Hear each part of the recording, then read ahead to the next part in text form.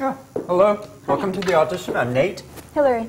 Nice to meet you. Have a You seat. oh. And here are the sides. Oh, thank you. You're going to read for the girl, and I'll read the friend. Okay. Uh, I like to do a cold read, so we'll jump right in. Sounds good.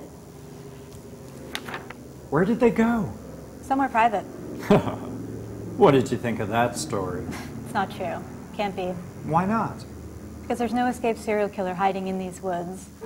Maybe not. But maybe he's out there, watching us, getting closer. Stop it. Are you scared?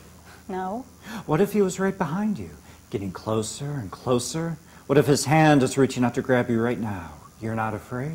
No. What about now? hey, that's great.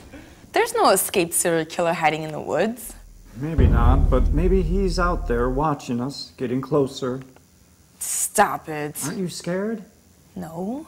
What if he's right behind you, getting closer and closer? You're not afraid? No. What about now? Oh my god. Christ. That's great. Oh, stop. Aren't you scared? No. You're not afraid?